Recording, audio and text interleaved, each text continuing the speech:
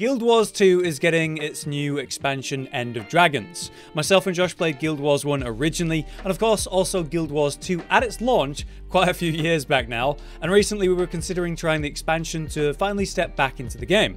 After all, you know, an expansion is a good time to try an MMO when everyone has a fresh experience. Then, incredibly, around the time that we actually were thinking about this, they contacted us to play the expansion early and create some sponsored content. So yeah, we were up for that. A huge thank you then to Guild Wars 2 for sponsoring this video, especially when we were actually already interested in the game and covering MMOs. I was lucky to be part of a special event where we were able to play the game early, guided through various bits of content by some of the Guild Wars 2 team. We were given great context to the world and what we're actually doing in it, and we're given a chance to try some of the updated classes and gameplay and new features of the game. The session was only a brief 90 minutes or so, but I got to see a fair amount in that time, we thought it would make for a good video to talk about what we saw and what I thought about it all. So join me for this early look at some of the new Guild Wars expansion, End of Dragons, which releases very soon on February 28th.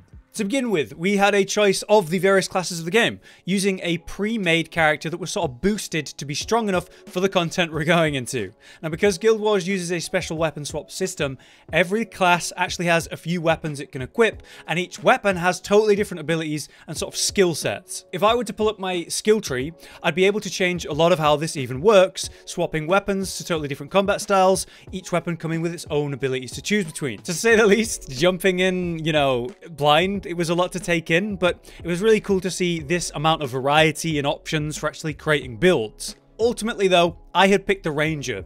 The classes have new elite specs in this expansion, and the Rangers is called Untamed, which is sort of a Beastmaster type in which you are enhancing the power of your pet alongside yourself. This is something I saw a lot of the players react well to when I looked at the official trailer for this class, since this sounds like something the Ranger players have actually been asking for for a long time. My weapons though were the bow and the dual wielded weapons of axe and sword. This made for a nice mix of ranged and melee combat alongside the buffs and summons of the spec itself. In combat, I found a nice flow. I'd start with my ranged abilities, using direct shots on my target, bursts of arrows, area of effect volleys, and even had a stealth shot that could get me out of bad spots if they were to happen. While I had my melee weapons out though, I noticed I had a sort of shield effect on my offhand, so maybe giving me extra protection. The melee attacks themselves though were pretty versatile. One was the thrown axe for a mid-ranged ability, one let me just stand there and swing my weapons wildly, sort of channeling an AoE attack. One let me dash in and then even roll around the target to get behind it to sort of quickly reposition up close. And finally, we had one to leap backwards out of melee to get me back into ranged and then obviously logically pull out my bow, which abilities should be off cooldown again. So yeah, this made for a cool flow of the combat, in and out, ranged and melee, which came super handy for the boss fights, which do use a lot of telegraphed danger zones, so I could move around those effectively. The abilities on the right side of the bar then, not the weapon ones, but my class abilities, these were things like powerful heals, ghost summons, self and party buffs, and of course buffing up the pet and my player at the same time. I tried to maintain these buffs once I was getting used to the gameplay, and when I did, I found my abilities were going out faster, alongside my character moving around like lightning. Obviously, a main part of this class, though, is the Beast Companion. Uh, I found a huge variety of beasts I could summon on this character, depending on if I was on land or water as well. There's new pets coming in this expansion, which I spotted grayed out in the summon list at the bottom. There was the young siege turtle, white tigers, wallows, and even a phoenix. But I imagine we have to unlock those in the new content before we'll be able to use them. So there's some combat and information about the ranger class that I was trying. Let's talk about the session itself. I actually spawned in a little late and had to sort of catch up with the rest of the event players who were underway on a quest to take this stronghold, which was meant to be claimed as a guild hall. The quest itself took us around various sections of this area and the guild hall. We're basically defeating the people who were here, defeating their leaders to take this place. The boss fights had some reasonable challenge to them, dealing high damage to their target and also dropping a lot of danger zones on the floor to avoid, and continuously, the bosses became a bit more difficult and more involved with those mechanics. The final boss was teleporting around and using lightning magic to spiral out zones of lightning that you had to avoid, as well as these ghost summons that slammed the ground with these huge rings of damage. There was this little tiny safe spot in the center of those slams,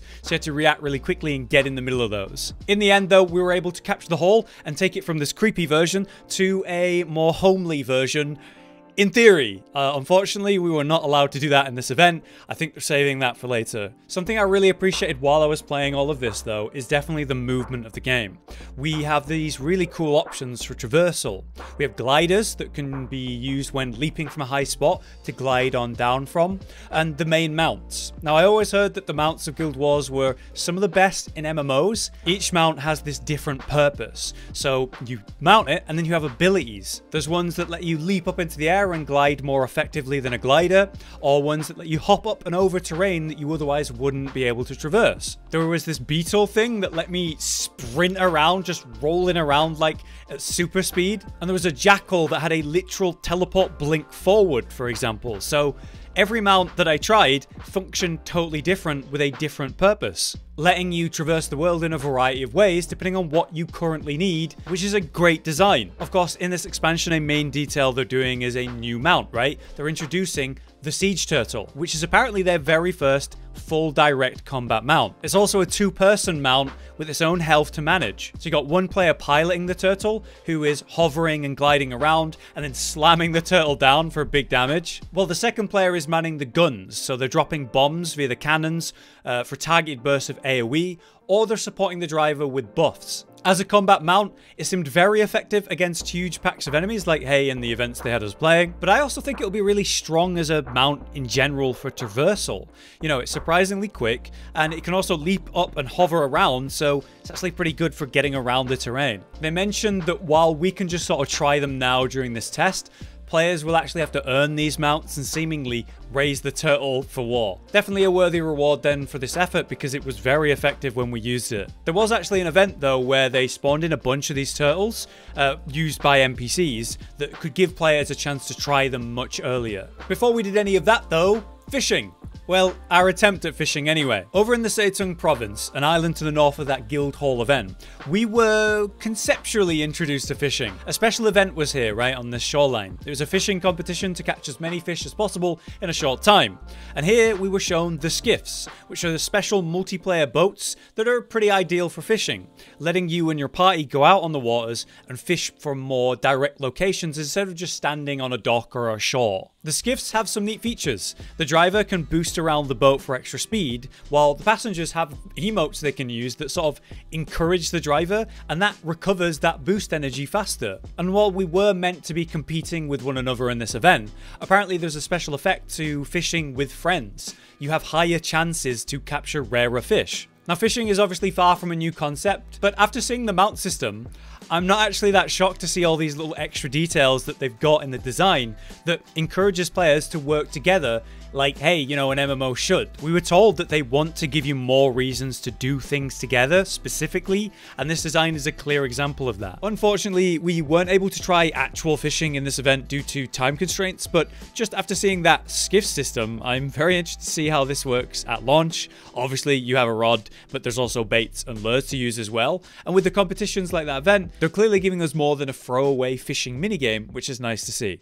But lastly, we moved on to the Echovald Wilds, which is an area to the east, which was a larger landmass than the areas we played before. It was explained to us that this is actually a location in Guild Wars 1 that players should be familiar with, the home of the Kurzicks, who were defeated by the Ministry of Purity. Essentially, they were absorbed into Cantha society, this whole area is known as Cantha, this is part of the Cantha Empire. The people in this region, though, are more considered outsiders, people who aren't fitting into that society very well, and they feel more home in the wilderness wilderness. People here are more suspicious of the Jade tech, which is very prominent in Cantha.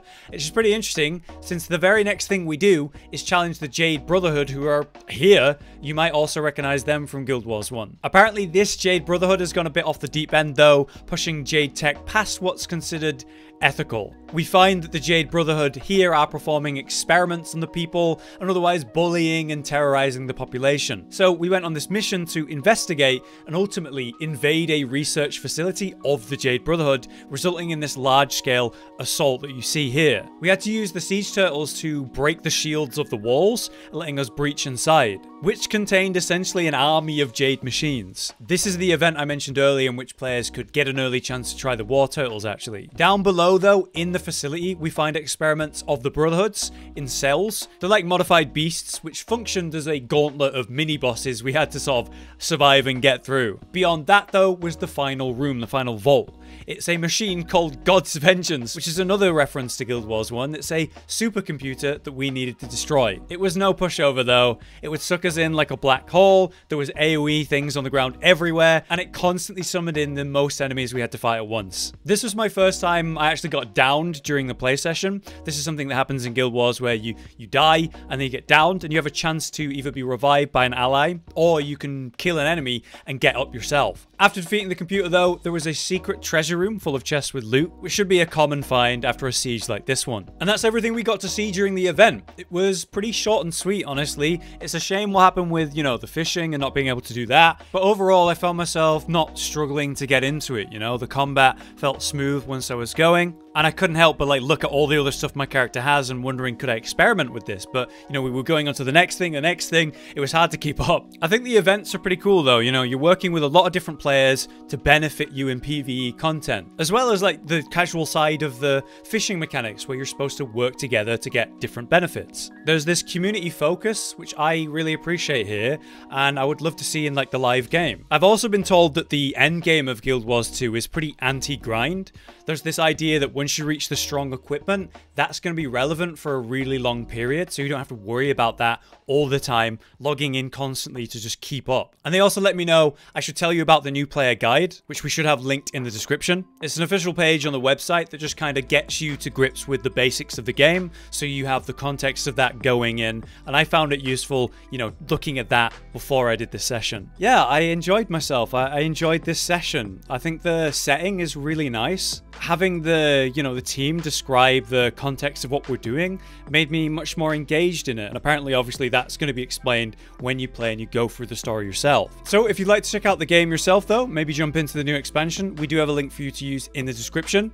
We're going to be making more videos on the game soon throughout the launch so look forward to that. And it's been very nice to sort of jump back and play some guild wars 2 again even in this small session because the combat it still somehow feels pretty smooth after all this time for now, though, I've been Hollow, you've been you. Thanks for watching. Josh, Cotton, and Hollow with the videos, dropping the humor like a hammer on your tippy toes, bringing entertainment on a daily arrangement to take our insanity and turn it into entertainment. Yes, I said entertainment twice to reiterate that it is nice to look into your faces on a mostly daily basis when you let us in your homes to make the whole world a stage. Is uh goodbye.